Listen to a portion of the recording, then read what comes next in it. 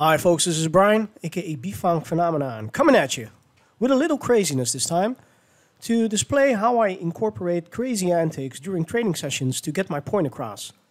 And the following footage is just one small example of exactly that. Always safe, of course, but nevertheless a little unorthodox. But hey, the whole Soulful Fitness roller skate training system is impossible to file under any existing coaching and training method in the physical and mental psychological realm. So, we might as well stay unique and keep doing what we do because we are experiencing massive results on a daily basis. This footage was shot on the 23rd of May 2022. A cross step as a preset and then trailing away sideways on count number 5, making this riff a total of 8 counts to the left and 8 counts to the right. The skill improvement of practically everyone in this footage has been massive over the last 6 months which has allowed me to tap into the deeper layers of my creative trainer skills. When using the whole body to travel or change direction, it means more muscle groups are involved to create momentum. More movement tends to suggest more effort. But when you can figure out the most economic way to use the whole body, the movements become light, safe, and controlled. And they will feel like that as well. And they will look effortless. Close to the camera in the front row, we have Arike, Marina in black, and second row, Yvonne in pink and Wendy in the back corner in black. Now, challenging your balance doesn't necessarily mean to keep still or steady. It oftentimes means moving body parts in such a way that it brings extra flavor, but still is conducive to the movement as a whole. In this case, I would like to see the group doing something that resembles a reversed body roll. Crunching the upper body as if they were ducking an upcoming obstacle results in hinging the hip, which supports the actual traveling when doing this trailing technique.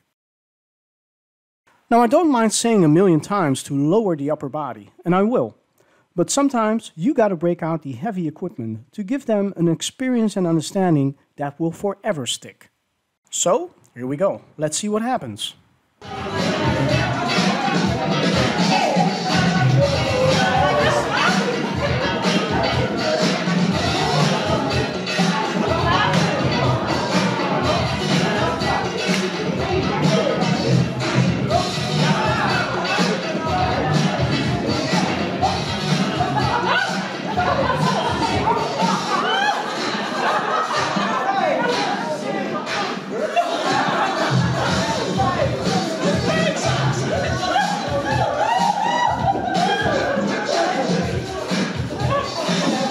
Yeah, so the obstacle coming at them was a pole, and they had no other choice but to duck to avoid getting hit.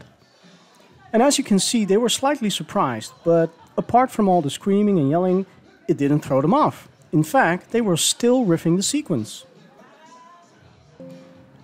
Now I do have a pretty decent proficiency skill level in handling the 6.5 point pole, most commonly known from the Wing Chun fighting system. So I was fairly confident that this could not go wrong. But I do want to state no one was hurt or frightened, and they all came back for the next session. But most importantly, the hip hinge by crunching the upper body even slightly really served its purpose, and that is boosting the trailing technique.